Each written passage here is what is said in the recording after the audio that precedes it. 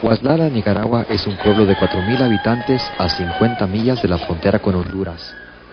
Ahí la gente vive como usted y yo. Ellos trabajan, juegan, van a la iglesia y crían a sus hijos. Pero existe una diferencia. Ellos han vivido en una zona de guerra. La mayor parte de los que viven en Huaslala han sido desplazados por la guerra. En 1979 triunfó la revolución nicaragüense contra la dictadura de Somoza de 45 años. Dos años después, fuerzas contrarrevolucionarias empezaron a penetrar el país desde Honduras, forzando a los campesinos hacia la seguridad de pueblos como Huaslala. Desde ese tiempo, se han organizado milicias civiles para hacer vigilancia en los alrededores de Huaslala. Los militares han mantenido una presencia regular en las calles del pueblo. Escuchemos ahora al pueblo de Huaslala mientras que ellos nos cuentan su propia historia de la construcción de una nueva vida en medio de la guerra. la opinión mía es más trabajar por la vida religiosa y, siempre luchar por el pobre, construir un barrio nuevo, una vida nueva, a luchar de que el, barrio sea más, más unido a través de la Biblia, sí, pero no con las armas, sí porque aquí trabajamos todo en comunidad. Nadie tiene individualismo. Siempre tratamos de no desunirnos, sino que mantener unidas, unidos todos. Sufrir el dolor del hermano, pues, que todos lo suframos. Y si estamos alegres, que todos estemos alegres. La gente de aquí no quiere pelear. Puedo decir que yo conozco todas estas familias de acá y, y oran a ver tarde y mañana para no ser atacados pero en hora de atacarlo ellos se defienden, pues. Estamos convencidos de que este pedazo de tierra, digamos, que es Nicaragua, es de nosotros, pues, y, tenemos que luchar, pues, tenemos que defenderla.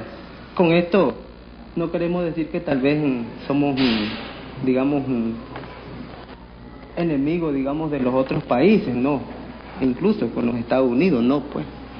Nosotros queremos es que nos dejen en paz que digamos el campesino se desarrolle como quiera y que entienda pues que su futuro es propio.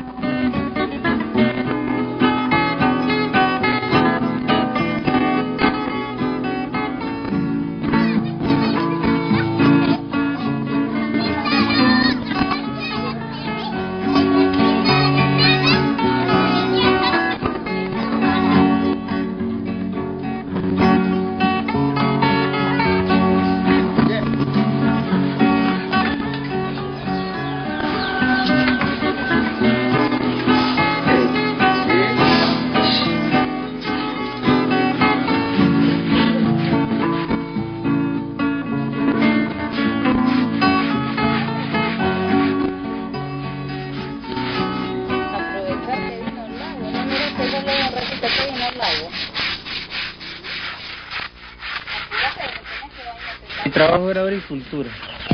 Sembrar maíz, frijoles, guineo, así. Tener gallinitas, algún chanchito, así. Alguna vaquita. Ese era el trabajo de nosotros. Y ya estando aquí, yo estuve trabajando, medio trabajando en albañilería, medio carpinteriando, aprendiendo.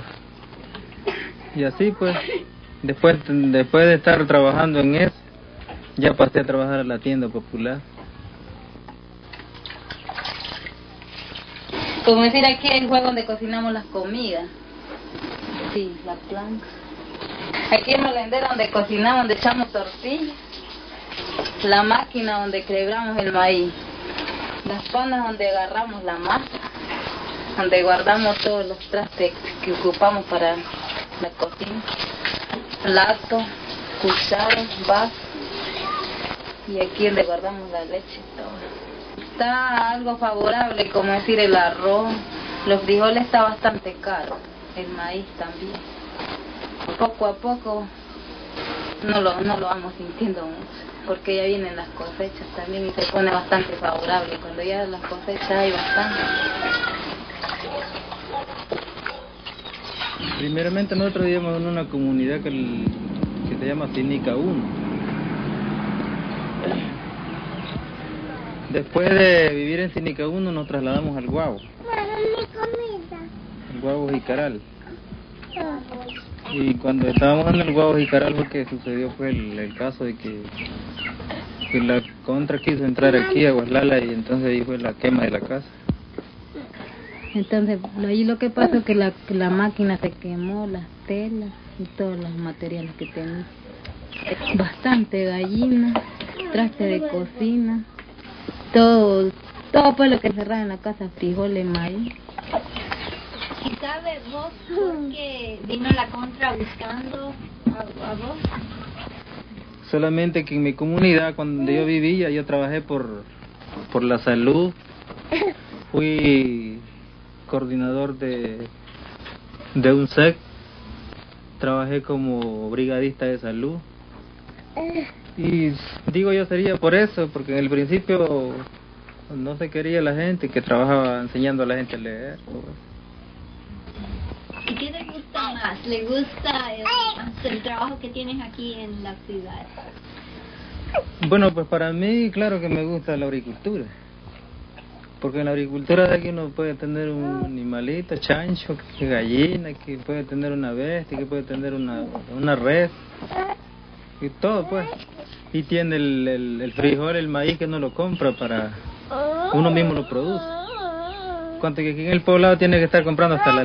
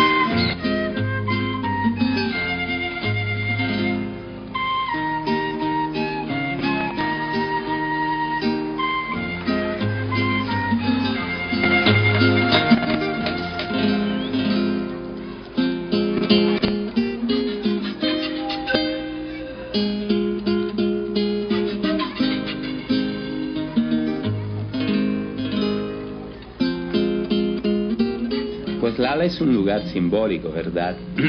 o sea, es un lugar fronterizo, no en el sentido que está en, la frontera con Honduras, sino fronterizo porque está en un lugar de, guerra donde se combate la guerra entre dos sistemas bien diferentes. O sea, un sistema mm, fundado sobre eh, el capital, que es la explotación del hombre, ¿verdad? De un sistema basado sobre un sistema de servicio al hombre. La insurrección final, con la participación de todo el pueblo, incluida la burguesía, está a significar todo el derecho de hacer una, una guerra de liberación que se terminó con la conquista del Palacio Nacional, ¿verdad? El 19 de julio del 79. Después, el país empezó a reconstruir una novedad histórica, ¿verdad?, en condición de libertad, no simplemente de libertad de Somoza y del somosismo, mas de libertad en un sentido de bloquear la injerencia de los Estados Unidos que en la historia nicaragüense siempre hicieron injerencias y ataques e invasiones. Hace 20 años que siempre el gobierno que estaba aquí no le gustaba que la gente se organizara libremente. Tal vez se querían organizar en sindicatos para, para reclamar lo que estaba injusto pasando. Entonces cuando eso veía él que algún grupo se organizaba, para él era prohibido. Y entonces lo que sucedía es que mandaba bien echarlo preso o bien mandaba matar a toda la familia.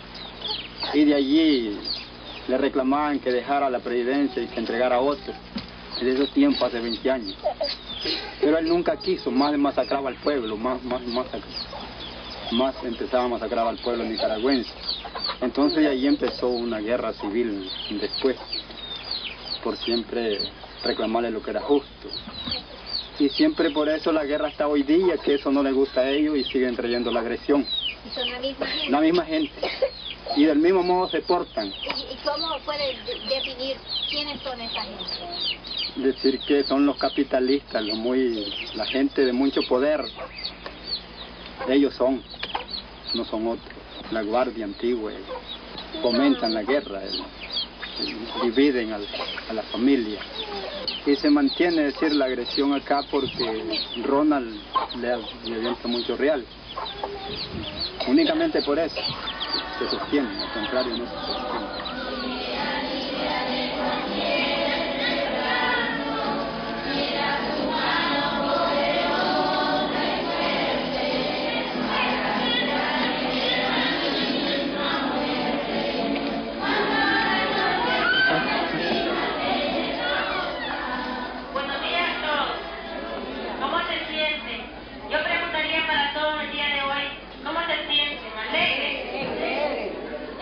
La alegría de hoy, tiene que estar, tenemos que sentirnos muy alegres todos, en especial por este matrimonio que se va a realizar de Gloria Huerta, que es un matrimonio que esperamos en Dios que sea fiel para, para el Señor.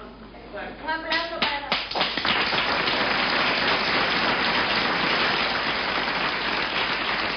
Ellos saben que el arroz, que la ropa, la comida y la ropa están caros.